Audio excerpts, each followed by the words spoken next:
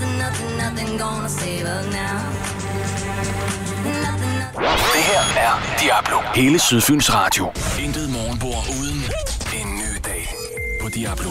Og så skal det handle om sommeren, der tegner til at blive rigtig god i det sydfynske. Blandt andet jo fordi, at øh, de fleste danskere ikke har mulighed for at tage afsted på charterrejser til Thailand og så videre. Derfor så står den går vi ud fra, ligesom sidste år, hvor rigtig mange besøgende, både på Ærø, øh, Langeland, i Svendborg og i Forborg Midtfyn Kommune. Og her til morgen har jeg besøg i studiet af turistmanager i Forborg. Det er dig, Mads Ryge Sletbjerg. Godmorgen og velkommen til. Godmorgen. Og anledningen til, at du kommer, er jo altså den nye, jeg skal lige holde den op frem her, så kameraet også kan se den. Den nye, flotte katalog, det sydfynske øhav. Lad mig starte med at sige tillykke, fordi det er, altså, det er jo sådan en rigtig øh, coffee table magasin. Altså sådan et, Ja, det du øh, sidder og bladrer i i flyveren og ja. kommer til at stjæle og proppe ned i din håndtaske. Ja. Eller du føler, du er en tyv, man må godt tage den. Og, øh, og det dejlige er, at I har sådan nogle, altså nogle dobbeltsider, hvor der ikke bare er klæstret til med reklamer og gejl, men hvor, hvor der er nogle flotte billeder, og man virkelig får en oplevelse af at få, få noget med. Og så er det jo første år, at, øh, at alle fire kommuner er gået sammen. Svendborg og Forborg har arbejdet sammen et stykke tid, øh, men, men den her gang, der er, det, der er det alle kommuner, der er gået sammen. Ja, man kan jo sige, øh, at da Forborg og Svendborg gik sammen for to år siden for første gang, der var vi egentlig, eller jeg var og min kollega i, i Svendborg, vi var lidt bange for at få tæsk for byen, men øh, det gik godt. Ja. Og øh, den her lille Forborg-guide og den lille Svendborg-guide fik jo vokseværk, og vi, vi øvede jo opladet. Vi har jo så mange fælles fortællinger. Vi sad jo egentlig og skrev det samme. Vi skrev det samme historie om øhavsstil. Vi sad og skrev det samme om, om øhop og om, hvad vi ellers har lavet af, af fælles projekter. Og kan man sige, det gjorde de så også på Langland og Ærø, så med, med øh, to års øh, gode erfaringer, så kunne Langeland og Ærø jo næsten ikke sige nej til invitationen om at være, om at være med igen. Så, Ej, nej, det jeg tænker også, man skal huske på, det er jo det der med, hvis man, hvis man sidder i, i Kongens Lyngby på Sjælland, altså så går man ikke så meget op i, hvilken kommune hvad ligger i, så det er hele bare Sydfyn, ikke? der er ikke noget, man får ikke point ved at krydse kommunegrænser i sin ferie. Nej. Altså, det har jeg ikke opdaget. Nej. Og det er rigtigt, og det sydfynske øhav er jo en af Danmarks ældste brands. Altså, du har Bornholm, og du har Skagen, og du det sydfynske øhav. Altså, vi har jo egentlig landets ældste turistforeninger ude i Forborg. Det er jo landets næstældste, over 100 år gammel og så videre. Og det er, fordi det er et gammelt brand, så hvorfor lave det om? Og så kan man sige, det her, det løfter jo så også vores nye fællesprojekt, Geoparken, Geopark, det sydfynske øhav, hvor vi jo også ligesom skal signalere, at det her, det er altså et fælles område, der kan noget unikt sammen. Men hvor det tidligere, det kan man også se i den populære tv-serie Badehotellet, det egentlig var nok bare at komme væk fra storbyen, og hvis der så lå en strand i nærheden, så, så var øh, stikket hjemme. Så er det jo sådan, at vortids turister, de skal have en ordentlig en på opleveren. Og det bliver der i den grad også mulighed for. Det skal vi tale lige om et øjeblik om. Først lige mere den gode morgenmusik. Nu er klokken blevet 9 minutter over 9. Her er Keisha.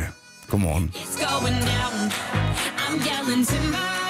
Her til morgen har jeg hyggelig besøg i studiet af turistmanager i Forborg. Det er Mads Ryge Sletbjerg, og anledningen er jo altså, at det, det nye flotte turistkatalog for øh, Svendborg, Forborg, Langeland og Ærø er kommet. Det sydfynske øhav er den fælles øh, betegnelse.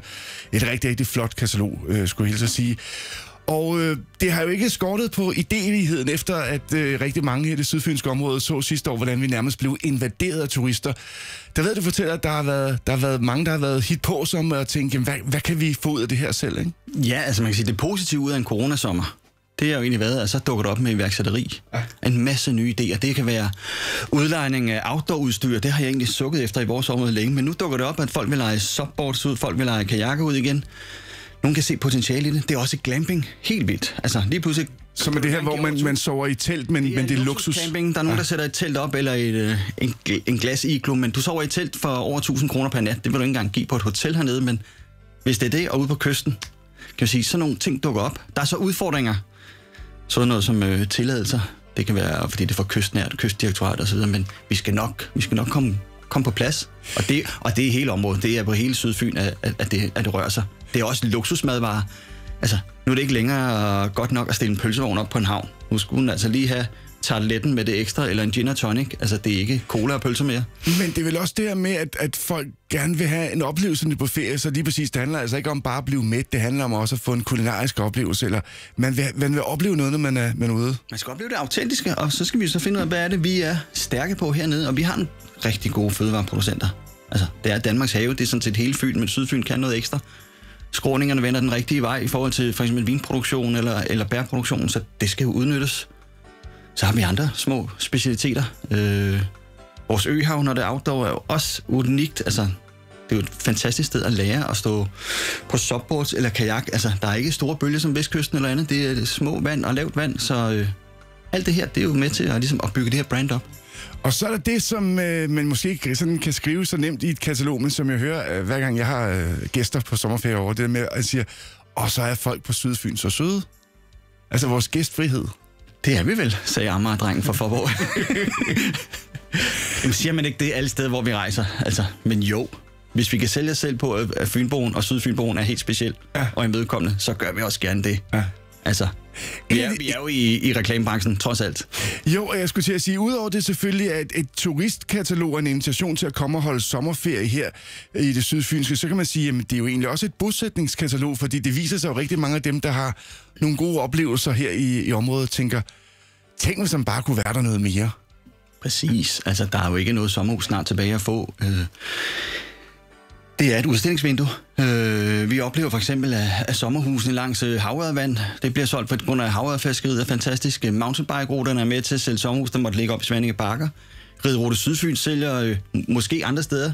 Svære landejendomme vil være svære at sælge andre steder i, i Danmark, men fordi de ligger langs den Riderute Sydfyn, jamen, så går det bedre. Og så kan man sige, ja, men nu, nu har vi alle de her danske turister, som kommer til Sydfyn og finder ud af, at det er kun to timer væk fra København. Har fantastisk. Øhop gør også. Der er ikke den, der ikke har drømt om at købe et hus over på Lyø. Der er bare ikke noget til salg, men det, er jo, det sælger drømme, og så finder man noget andet, der er magen til. Så øh, ejendomsmalerne i både i Påborg og Svendborg, og egentlig også på Langland, de melder jo øh, rekord. Lige lidt skal vi tale om det, jeg ved er, er din drøm. Og øh, så skal det også handle om torvet i Forborg, der over sommeren bliver lukket. Til gengæld kommer der så til at være en masse aktiviteter. Men inden vi når så langt, er det her Eva Max. Nummeret her hedder Head and Heart. Her til morgen har jeg besøg i studiet af turistmanageren for Forborg. Det er i anledning af, at det sydfynske øhav, den store turistbrosyre for Svendborg, Forborg, Ærø og Langeland er kommet ud. Mads Rys Sletbjerg, øh, mere vil jo have mere, og øh, som turistmanager, der er du selvfølgelig lykkelig over, ja, selvfølgelig ikke, at vi skal glæde os over coronaen, men lykkelig over, at den sommer, vi havde sidste år, var jo en fantastisk sommer. Det ser ud til, at i år bliver, bliver endnu bedre, men mere vil jo have mere, og din drøm er, at man også får udvidet så det, man kalder skuldersæsonen, øh, at, at vi får flere gæster der, ikke?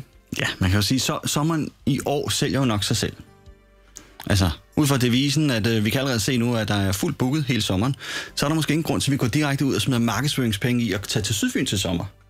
Det giver jo så ligesom det at booste den, netop den, vi altid taler om skuldersæsonen, for folk til at komme om foråret, måske er vi stadigvæk lukket, men om ikke andet, så kom til sensommeren, august, september og så videre. Og det kan jo være med til både på den længere sigt, når coronaen er væk en gang, det er til at sige, jamen, øh, det her det er en lang sæson. Man, virksomheden tager sat til øh, attraktionerne til at holde åben osv., fordi der skal være noget at lave.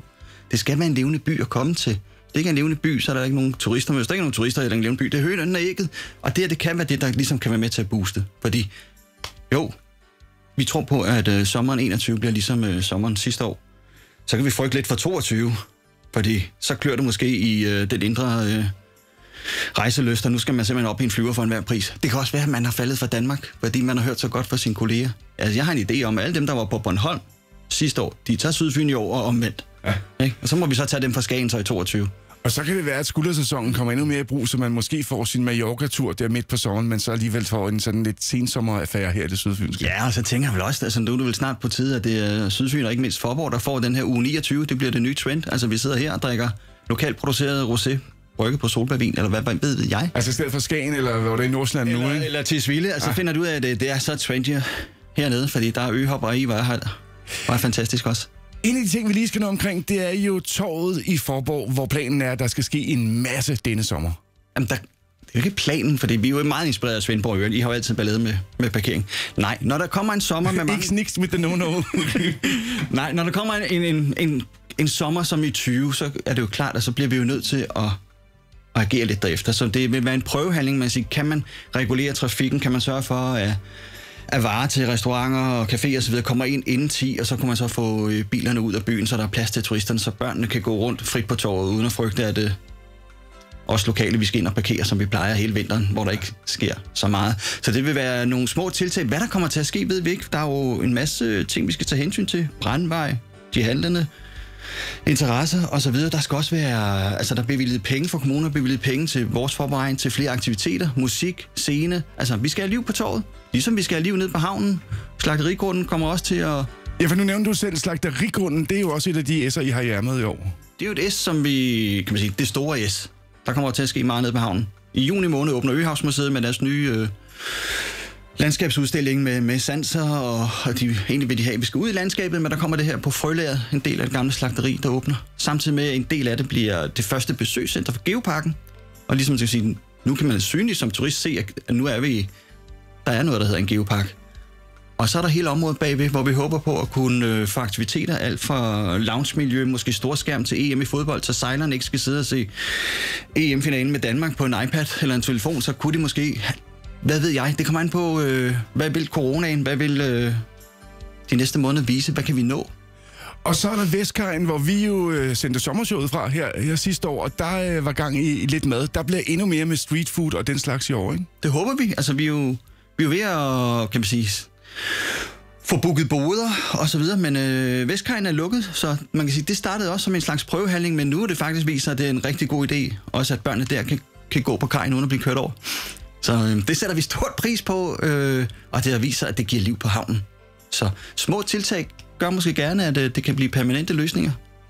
Og er det også det der med, at tingene bider hinanden altså i, i rumpen? Det her med, at når, når sejlerne oplever, gud, der er fest på torvet, der er gang i Norges slagterigrunden, jamen så, så det hele bliver sådan for nu at bruge sådan et øh, meget misbrugt moderne erhvervsord, men det, der er synergi i tingene. Der er synergi, og Forborg har en styrke i, at torvet kun ligger de her to minutters gang fra havnen. Altså, man sejler jo nærmest ind på, på torvet, og det er jo det, som kan man sige, sejlerne især kan lide.